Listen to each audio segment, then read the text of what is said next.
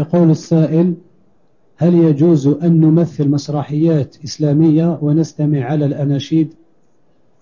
هذا للفارغين اللي ما لهم شغل هم اللي يستعملون هذا الشيء يحبون الأغاني ويحبون اللهو يعملون مسرحيات ويعملون أناشيد لأنهم فاضين ما عندهم شغل لا عبادة ولا ولا عمل دنيا هذا ما يصلح للمسلم.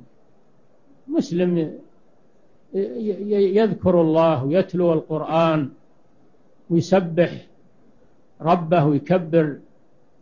هذا هذا بدل الأناشيد وبدل. نعم.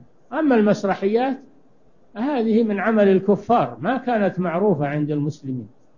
يدخلها شيء من الكذب وتمثيل الناس تمثيل الناس وهم لا يرضون إنك تمثلهم. لا يجي واحد يمثلك. هل ترضى؟ لو يجي واحد يمثلك يمشي مشيك ويتكلم يقلد صوتك وترضى بهذا هذا تنقص للم... للشخص الممثل. ولا سيما إذا كان ميتا. هذا يعتبر من الغيبة. نعم.